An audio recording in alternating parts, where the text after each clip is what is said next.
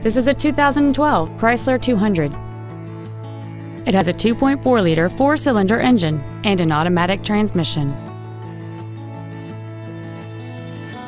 All of the following features are included. A low tire pressure indicator, a multi-link rear suspension, traction control and stability control systems, a CD player, a passenger side vanity mirror, side curtain airbags, rear seat child-proof door locks, air conditioning, a pass-through rear seat, and this vehicle has fewer than 34,000 miles on the odometer.